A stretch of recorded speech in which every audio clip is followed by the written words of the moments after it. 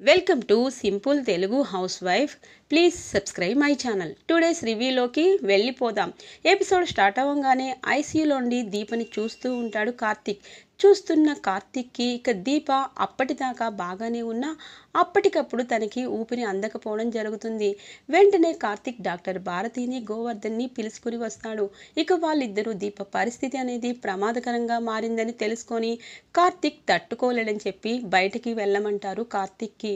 కార్తిక్ బయట నుండి చూస్తూ ఉంటాడు బాధపడుతూ ఉంటాడు. దీపకి ఏమీ జరగకూడదు. దీప నువ్వు బ్రతకాలి బ్రతకాలి అని చెప్పి ఇక దీప గురించే ఆలోచిస్తూ బాధపడుతూ ఉంటాడు కార్తీక్. ఇక డాక్టర్ భారతి ఆపరేషన్ చేస్తూ ఉంటుంది. ఇక ఆపరేషన్ సక్సెస్ అవుతుంది. ఇక బయటకు వచ్చిన కార్తీక్ దగ్గరకు వచ్చి కార్తీక్ నువ్వు చాలా మంచివాడివి. నీకు దేవుడు అన్యాయం చేయడు. దీప సేఫ్. దీపకి ఎటువంటి ప్రమాదం లేదు. నీ పిల్లలు కూడా అదృష్టవంతులు అని చెప్తుంది చాలా సంతోషంగా డాక్టర్ భారతి. ఇక ఒక్కసారిగా కార్తిక్కి చెప్పలేని ఆనందం కలుగుతుంది. Bharati thank you so much Bharati. నువ్వు అమెరికా నుండి వచ్చింది నా కోసమే నా భార్య కోసమే అనిపిస్తుంది. Thank you so much. నీ రుణం ఈ జన్మకి తీర్చుకోలేను అని అంటాడు. కార్తిక్. అలా అనద్దు. ఎందుకంటే నువ్వు నా ఫ్రెండ్వి. ఇంకొకటి ఏంటంటే ఇక దీప పరిస్థితి క్రిటికల్గా ఉన్నా సరే దీపని ఎలాగైనా కాపాడాలని చెప్పి దృఢ నిశ్చయంతో ఉన్నాను. తనకైతే ఇప్పుడు ఎటువంటి ప్రమాదము లేదు. మీరు చక్కగా హ్యాపీగా ఇక తనకి టూ డేస్ తర్వాత ఇక కుట్లన్నీ తీసేస్తా కదా మీరు ఎక్కడికైనా వెళ్ళొచ్చు. సరేనా? అని అంటుంది. సరే భారతి ఇప్పుడు దీపని నేను చూడొచ్చా? అని అంటాడు. తప్పకుండా అని చెప్తే ఆపరేషన్ థియేటర్లోకి పరుగు పరుగున వెళ్తాడు కార్తీక్. ఇది ఇలా ఉండగా ఆదిత్య హాస్పిటల్కి బాక్స్ తీసుకొని వస్తాడు. ఇక ఎదురుగా డాక్టర్ భారతి కనబడుతుంది. ఇక ఆదిత్యకి ఆదిత్య రాగానే ఆదిత్య నువ్వా?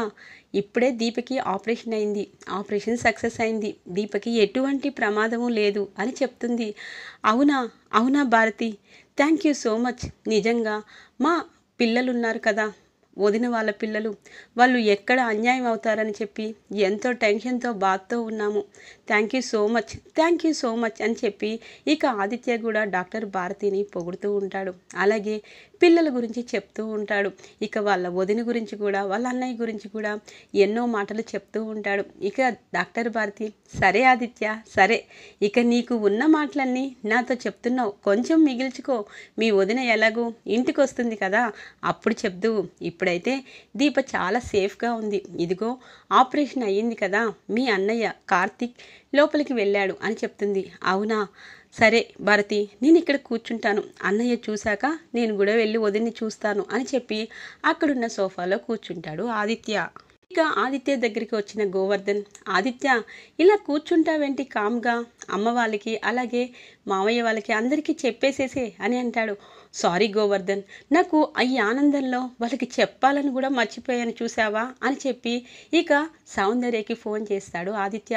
మమ్మీ మమ్మీ వదినికి ఎటువంటి ప్రమాదం లేదు. ఇప్పుడే ఆపరేషన్ చేశారు సేఫ్ అంట. ఇక వదినికి ఏమీ కాదు మమ్మీ. ఇక ఎటువంటి దిగులు లేదు. వదిన మన ఇంటికి వచ్చేస్తుంది అని చెప్పి ఆనందంగా చెప్తాడు. ఇక సౌందర్యకైతే ఒక్కసారిగా కంటి వెంట ఆనంద బాష్పాలు కురుస్తూ ఉంటాయి.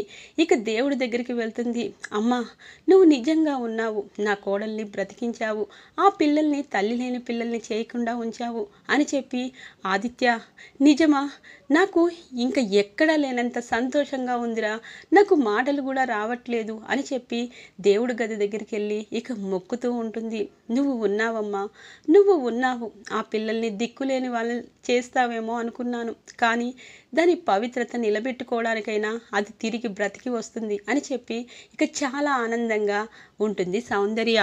ఇక మురళీకృష్ణ గారికి కూడా ఫోన్ చేసి చెప్పంగానే మురళీకృష్ణ భాగ్యం కూడా చాలా సంతోషపడతారు. మావయ్య గారు మీరు ఇంకా హాస్పిటల్కి రావక్కర్లేదు.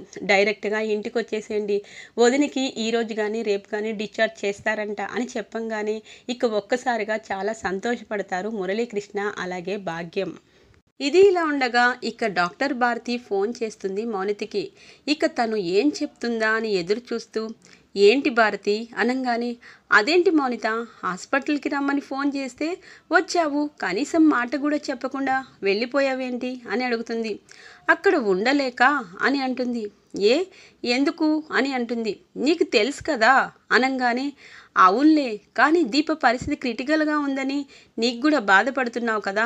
సరే ఇప్పుడు దీప సేఫ్. దీపకి ఎటువంటి ప్రమాదం లేదు. ఇప్పుడు దీప కార్తీక్ ఒకటవబోతున్నారు. ఇంకొక విషయం తెలుసా? నువ్వు డాక్టర్వి కదా మౌనిత. నువ్వే మారాలి. ఇక నీకు నేను చెప్పేంత దాన్ని కాదు. ఎందుకంటే మనందరం ఫ్రెండ్స్వి. నువ్వు తప్పు చేసినా కార్తీక్ తప్పు చేసినా నేను తప్పు చేసినా మనకి తల్లిదండ్రులు చెప్పకపోయినా ఫ్రెండ్స్గా దండించడం చాలా మంచిదని చెప్పి నేను ఆ రోజు నీతో కోపంగా మాట్లాడాను. కానీ నువ్వే తెలుసుకో మౌనిత ఎందుకంటే దీప కోసం కార్తిక్ ఎంతగా ఆరాటపడుతున్నాడో నువ్వు కూడా దగ్గరుండి చూసావు కదా అందుగురించే చెప్తున్నాను. ఇక నుండి నువ్వు కార్తిక్ దీపలకి ఇక ఎటువంటి హాని చేయవేమో అనుకుంటున్నాను. ఎందుకంటే నువ్వు కూడా కార్తీక్ని ప్రేమించావు కానీ కార్తీక్ దీపని ప్రేమిస్తున్నాడు. దీప కోసం తను ఈరోజు ఎంతగా ఏడుస్తున్నాడో ఎంతగా కుమిలిపోతున్నాడో దగ్గర నుండి చూశాను. నువ్వు కూడా చూసావు కదా అని అంటుంది. భారతి చెప్పింది చాలు. ఇప్పుడు నాకు ఏం చెప్పాలని ఫోన్ చేశావు? అనేసరికి దీప సేఫ్ అని చెప్తున్నాను కదా. దీపకి ఎటువంటి ప్రమాదము లేదు. ఇక దీప కార్తీకులు హ్యాపీగా సంతోషంగా ఉండబోతున్నారు. అదే నీకు చెప్తే నువ్వు మారుతావేమో అని ఫోన్ చేశాను. సరే ఉంటాను మౌనిత అని చెప్పి ఫోన్ కట్ చేస్తుంది డాక్టర్ భారతి. ఇక ఫోన్ కట్ చేసే కానీ ఒక్కసారిగా ఇక పిచ్చి పట్టిన దానిలా ఉన్మాదిలా ఇక మౌనిత ఇంట్లో ఉన్న అతన బెడ్రూమ్లో ఉన్న వస్తువులన్నీ ఒక్కొక్కటిగా పగలగొట్టేస్తుంది. ఇక చాలా పెద్దగా అరుస్తుంది. నో ఇలా జరగకూడదు. అది బ్రతికింది అంటే తప్పకుండా కార్తీక్ తన్ని ఈసారి మాత్రం తన తప్పుని కూడా పక్కన పెట్టేసి తననే కావాలని ప్రేమగా చూసుకుంటున్నాడు.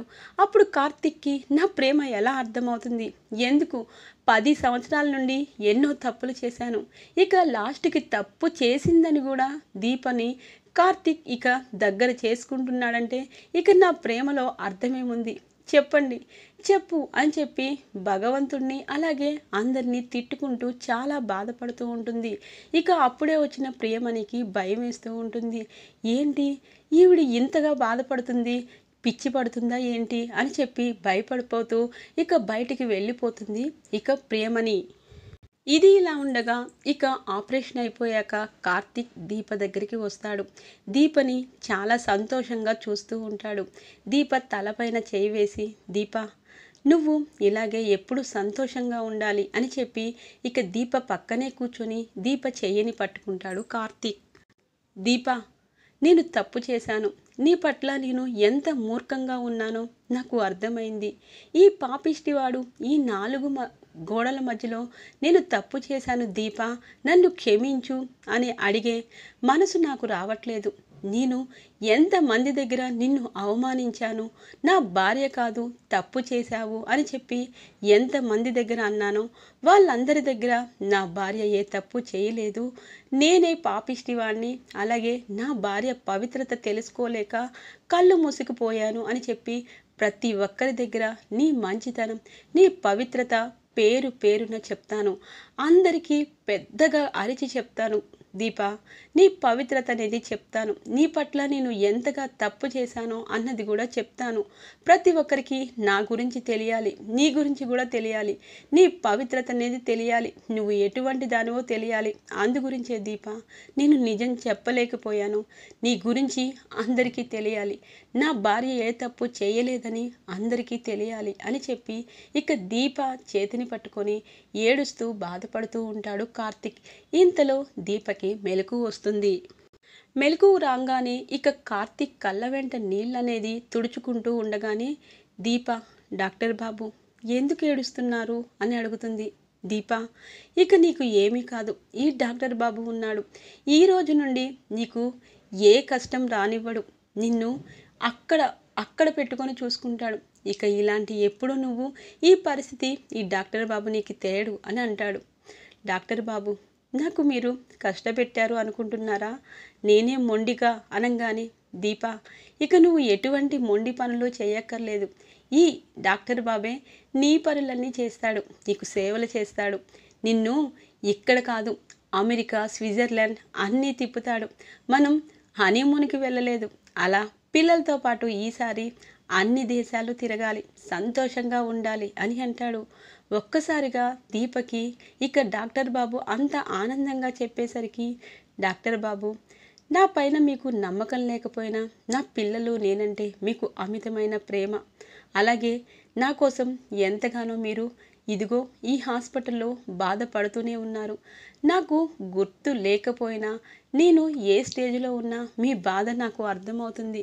మీ ప్రేమ నాకు కనబడుతుంది. మీ కళ్ళల్లో నా పట్ల ఉన్న ప్రేమ నేను బ్రతకాలి అని చెప్పే మీ ఆవేదన నాకు అనిపిస్తున్నాయి. నా మనసుకు అనిపిస్తున్నాయి. నా గురించి మీకు నిజం తెలిసిందా డాక్టర్ బాబు?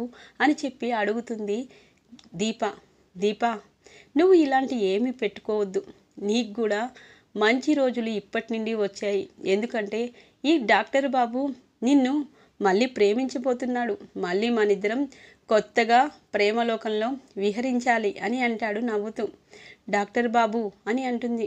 సరే దీప నువ్వు బాగానే ఉన్నావని అమ్మ వాళ్ళకి చెప్పాలి. ఇంకొకటి ఏంటంటే పిల్లలు కూడా భయపడుతున్నారు అనగానే అవును. శౌర్య హిమని ఒక్కసారి ఇక్కడికి తీసుకురండి డాక్టర్ బాబు అనేసరికి ఎందుకు దీప ఇక్కడికి తీసుకురావడం ఎందుకు? ఇదిగో డాక్టర్ భారతితో ఇప్పుడే మాట్లాడతాను. నేను కూడా డాక్టర్నే కదా. ఇంటికి వెళ్ళి వైద్యం చేయించుకుందామని చెప్తాను. రేపు మార్నింగే డిశ్చార్జ్ చేయమందాం సరేనా? అని అంటుంది అంటాడు కార్తిక్.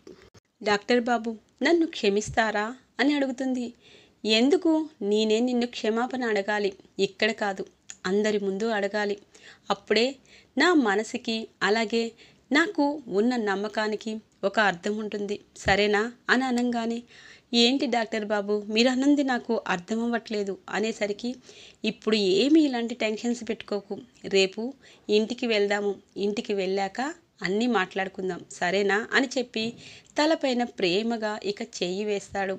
ఇక వెంటనే ఐసీయూ దగ్గరికి వస్తాడు ఆదిత్య.